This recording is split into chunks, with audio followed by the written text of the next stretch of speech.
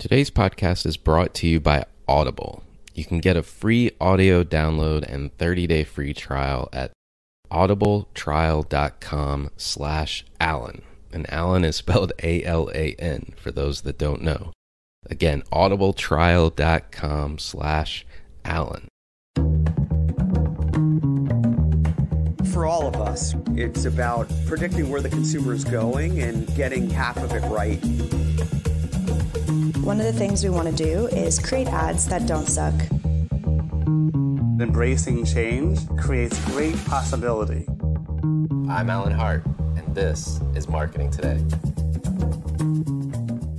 This episode is a second episode from our live event, Marketing Today Live, that was recorded back in November of 2019. This episode is going to be with Jim Geikie, who's one of the partners at One Better Ventures. And I'm going to do an intro regarding Jim's background in a few minutes to the live audience, but it probably helps to understand who One Better Ventures is. And the way they describe themselves is One Better Ventures nurtures and develops consumer brands that have a positive impact on the world.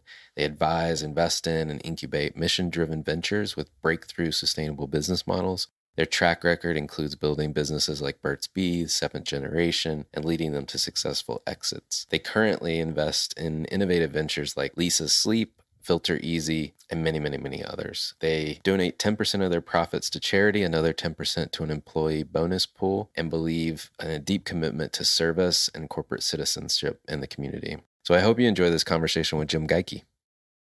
Jim Geikie. Jim is partner at One Better Ventures, which nurtures and develops consumer brands that have a positive impact on the world. Prior, Jim spent 18 years at Unilever before joining Burt's Bees, where he led the retail strategy, brand marketing, business development, and international prior to serving as its general manager for the business overall. He also then, at one point in, in the many years, you led Cree's entry into the consumer lighting market and then led the commercial strategy and startup skincare device maker Lalumiere. That is a mouthful.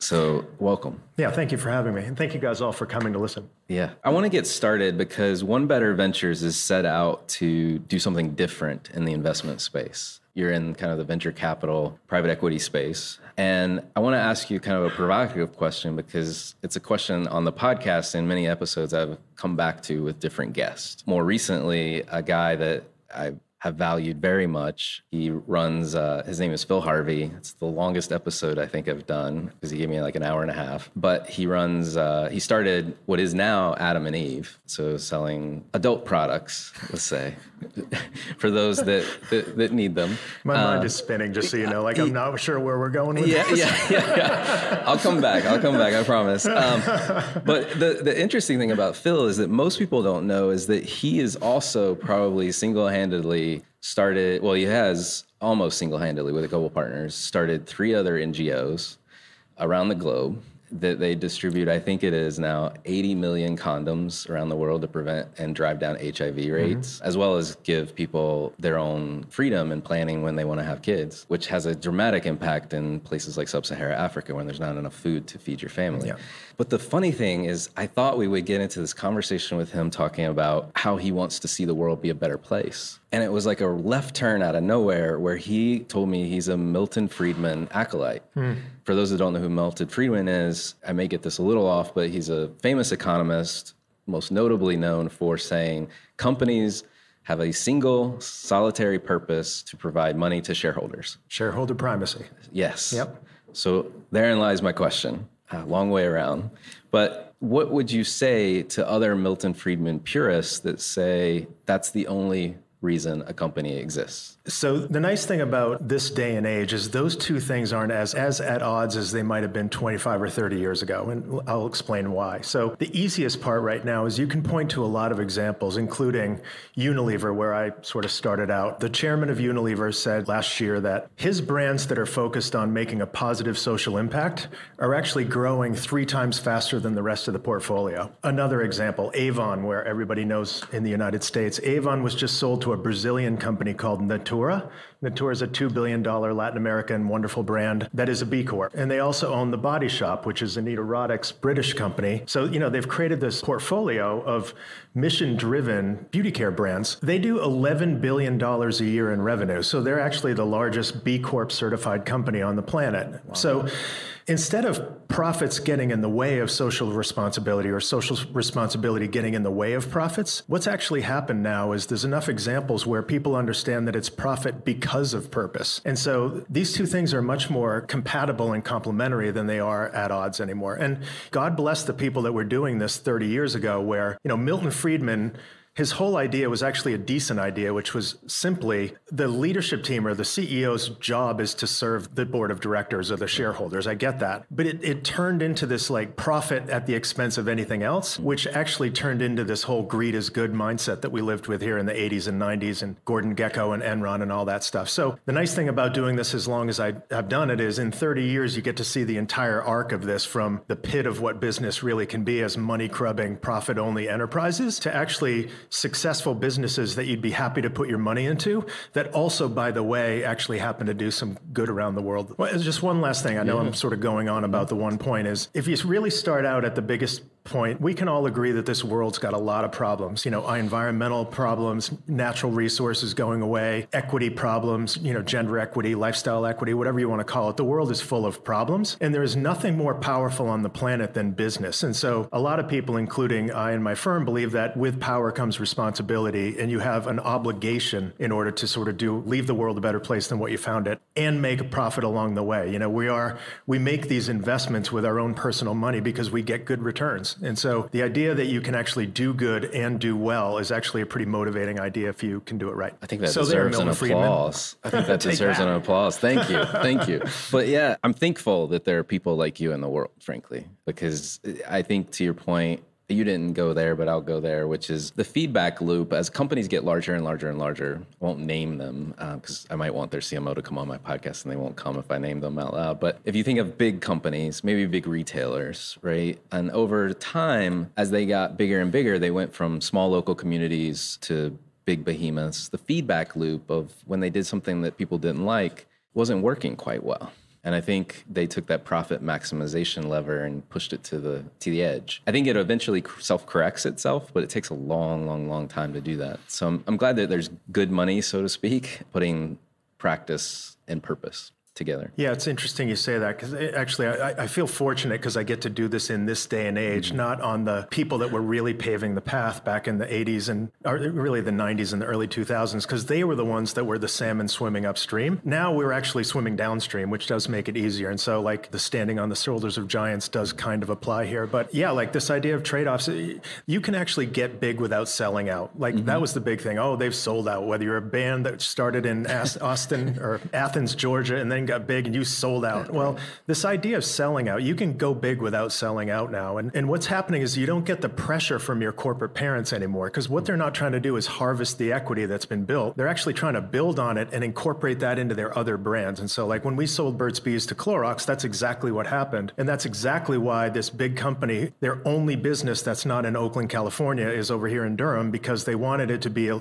a learning function for them to sort of incorporate that into the other parts of their business. And they actually, through great expense and disruption to people's family, they move a lot of people here from California so that they can work in it for 18 months or three years and sort of learn enough about it to bring it back and incorporate. So it's actually a sort of self reinforcing thing where there's not this pressure to harvest or compromise or trade, you know, sort of lie about it. And last thing that underpins this is consumers these days have got a really high bullshit detector. Like they really can smell BS a mile away. And if you think you're smart enough to BS the consumers, you're probably going to get found out at some point. And so it does catch up to you, and it might be short term beneficial, but it's long term value destroying. So honestly, this fight between the marketers and the finance people just doesn't exist because the finance people know that this is really the, the long term means to their end. Let's talk a little bit about One Better Ventures. So, if I understand, um, you guys focus primarily on growth stage versus, say, early stage or seed stage companies. And just curious, what's the rationale behind that? And then, you know, does that prevent, cause you any challenges along the way? Sure. So, um, just a quick one on One Better Ventures for those of you who don't know it. We do advising and investing work with early stage but growth stage companies, and um, we have five criteria. We it's all consumer products. So I am an inch wide and a mile deep. I've spent 30 years only in consumer, so I can't talk about any other category other than that. We only work with B Corps or companies that could be certified B Corps if they bothered to go through the process. So we're looking for people that are walking the talk on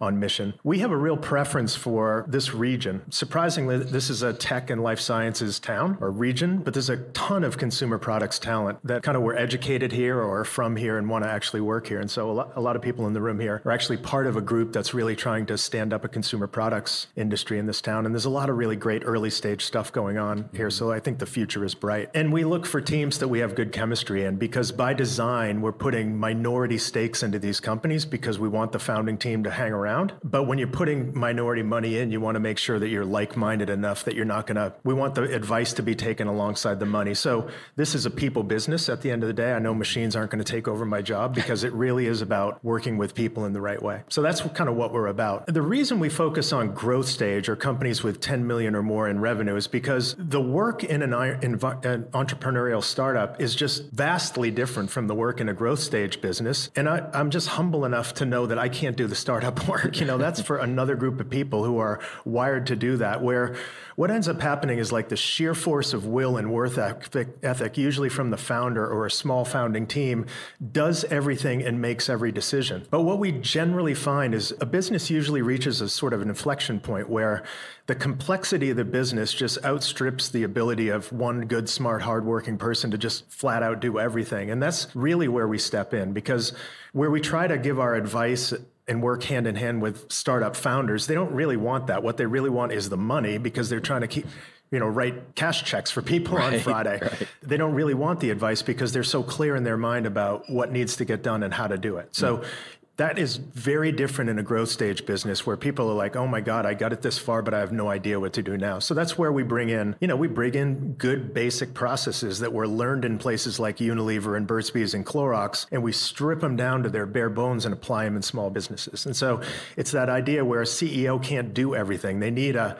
CMO and they need a head of supply chain and they need specialist functions and they need to figure out how to work together and sort of divide up the work. And so we're, I think, quite good at that. We're self aware aware enough to know that we're not made for entrepreneurial stuff, and so we focus on what we're good at. I'm sorry, one last thing. Our, yeah. our problem is that we're so seduced by the amazing startup work that's going on that we're like, oh, well, they're on a run rate to $10 million, and we have this crazy internal justification about how they're really farther along than they actually are. But the truth is, when we do make those exceptions, we regret it because they're not further along. They're just more interesting.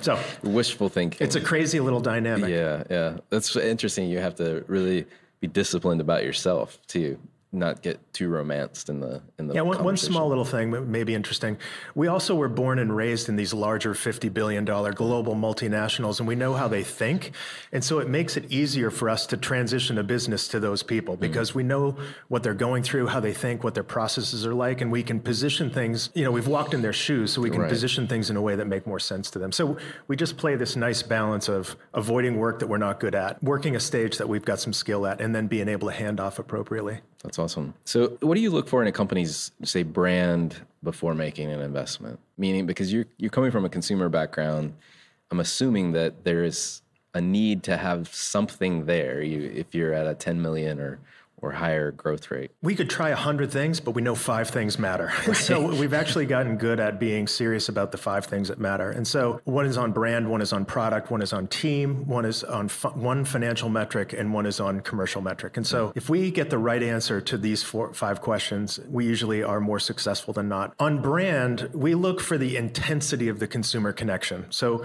we don't care about large followerships or you know the scale of your presence.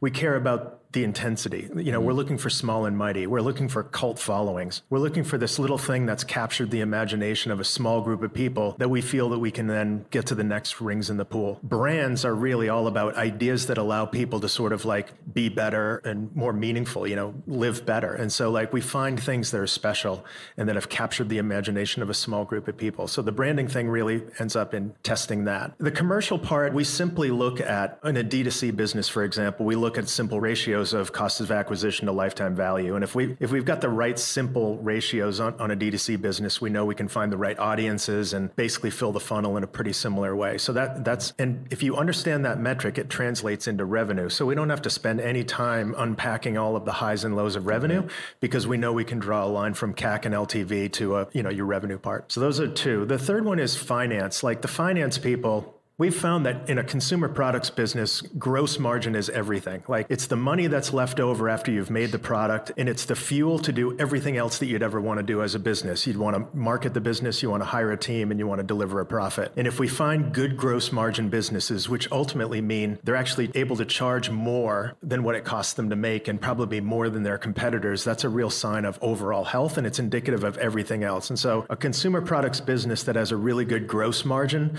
or a path to gross margin is gold. So we don't spend a lot of time in the rest of the balance sheet or the rest of the, of the income statement. So that's three. The other one is team. Team is everything. We really come back to that. This is a people business. You know, we look for strong leadership, we look for really powerful cultures, and we look for a couple of good capabilities that we can then build onto. And then, and I guess the yeah. last one is product. So it all comes down to product. We look for star products. We look for the one gem in a portfolio. Like Burt's Bees made 350 products, but it lived and died on lip balm. That was the horse. when you hit the recession, you went back to lip balm. It paid the bills and allowed you to do everything else. And so I would much rather have a portfolio where you had five star products than I would 350 sort of like Me Too things. Can always count on the horse. Tell us about the types of companies you're investing in now and if you've had any exits along the way at this point? Yeah, so I've talked to you about the criteria yeah. already, but the, we're all in the health and wellness business. We're health and wellness people. We think that health and wellness is one of the biggest sort of issues in this country right now for a lot of reasons, including the food supply in this country. I could get on my soapbox, and probably half of you would agree, and half of you would say I'm stupid as we eat pizza and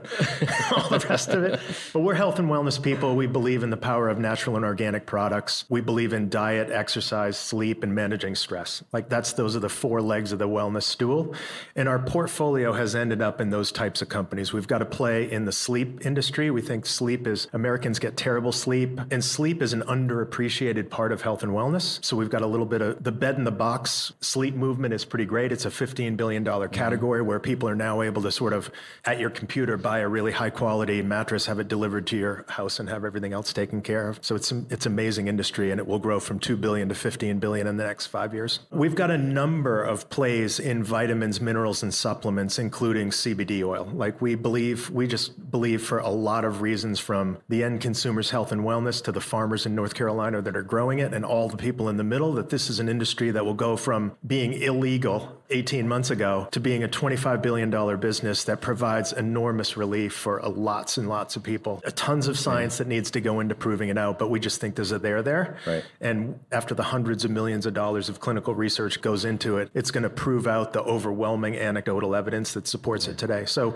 we have a lot of vitamins, minerals, well, minerals, I, and supplements. I just want to jump in on yeah. that because as a North Carolina native, if we could transition from tobacco to oh. hemp or other marijuana forms, we could change our entire state's trajectory. It's just a cool topic because on one hand, it's sort of still quasi dicey right. and illegal, yeah, semi-illegal. Yeah. Like, is it okay to talk about social stigma and all that? But if you talk to the farmers in North Carolina, where we've spent a lot of time, they make about four thousand dollars an acre on cotton, and cotton. There's probably not much you can can plant that's actually worse for the ground than cotton. On the other end of the spectrum, they're making eleven thousand dollars a year on hemp, and hemp that's is crazy. one of the. It's this regenerative thing that you plant it, and first of all, you use every single piece of the plant in some some form of textile or herbal remedy, but it's also incredibly good for replenishing the earth. So they use it as a, a rotating crop. So yeah, it's good for the state. It's good for the state. So what lessons have you learned in selling companies? Because you've been a part of a couple of exits, big exits. Burt's Bees being one. Sure. We've been on the buying side for right. a long time. So I would, I'd always seen it from the buying side, but we've been on the sell side in five things. We obviously sold Burt's Bees, and then a number of us stayed on there from three years to five years afterwards. So it was a, it was a good result. Two of the partners then went to run Seventh Generation, which is a eco-friendly household cleaning brand based in Vermont, and they exited that to Unilever. But in One Better Ventures, we've we ran this informally beginning in 2013. So this was a sort of side hustle while we all had other jobs. And three of those businesses that we advised have exited. It was a, a Burlington, North Carolina based, like really good sports nutrition, like Gatorade for real athletes, not sugar water. And so they exited, which was great. And there's a lesson in this for them. Then we exited a light therapy business. So skincare has moving from topical treatments to using dermatologist kind of light therapy treatments to treat everything from acne to anti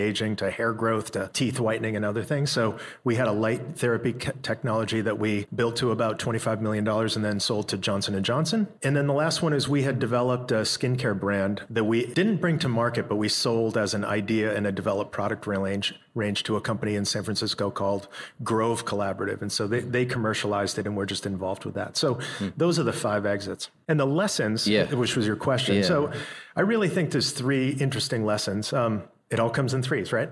I'll forget the third.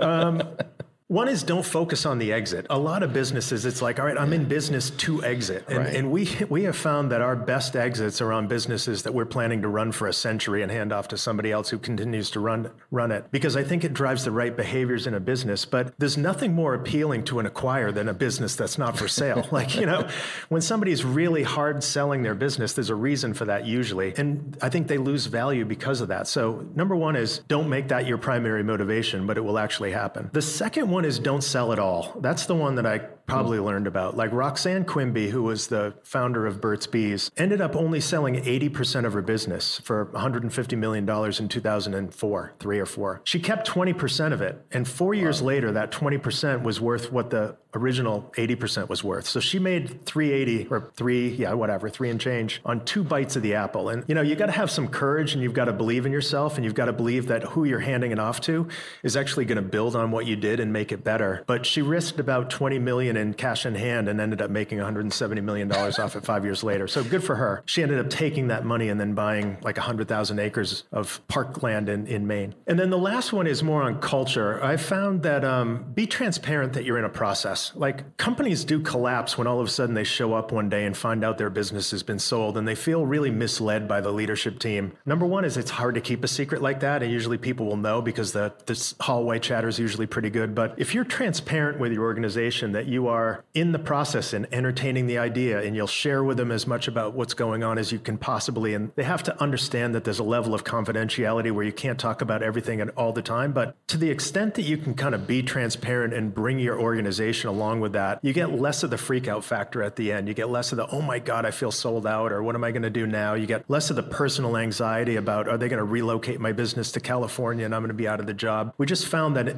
in the transition, people are much more comfortable with it. So don't focus on the sale, don't sell it all, and bring your team along. Well, what's next for One Better Ventures? Where are you guys going? We are beauty and skincare people at our core. We've worked in, the, in that category in luxury brands and, and mass brands and in all around the world for 30 years each. It's our passion. They're great categories. They're driven on innovation, product development, marketing. Like you never have to have the weekly debate about the value of marketing because like in a beauty care business, it's really primary, which makes it nice and it's just fun businesses. Like consumers are highly engaged on what the next new thing. There's tons of great product development, and so we are now focused on you know sleep, vitamins, minerals, and supplements, a little bit of functional food, but we will um, you know build a personal care and beauty platform. And you're making investments. I know you would prefer to make them here, but you're making investments. It sounds like around the country, mainly east side of the country. I don't know. Yeah, we've tried to keep it from DC to Nashville to Atlanta with a real right. concentration in the Triangle, and and we've got about half of our portfolio that's actually